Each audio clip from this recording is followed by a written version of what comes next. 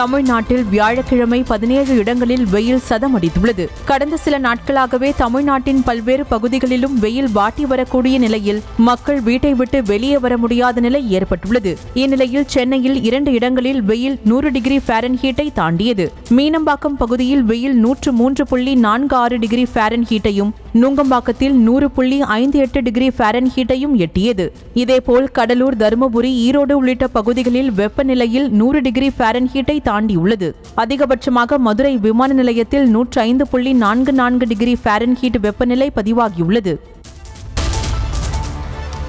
வேலூர் அடுத்த சத்துவாச்சாரி மலைப்பகுதியில் கொழுந்து விட்டு எரியும் தீயை அணைக்கும் முயற்சியில் வனத்துறையினர் ஈடுபட்டு வருகின்றனர். இம்மாவட்டத்தில் வெயில் கொளுத்தி வரும் நிலையில் ராஜாக்கோட்டை மலையில் காட்டு தீ பற்றியது. பற்றி எரிந்த தீயால் அந்த பகுதி முழுவதும் புகை மண்டலமாக மாறியது. தகவல் அறிந்து சம்பவ இடத்திற்கு வந்த வனத்துறையினர் தீயை அணைக்கும் பணியில் தொடர்ந்து ஈடுபட்டு வருகின்றனர்.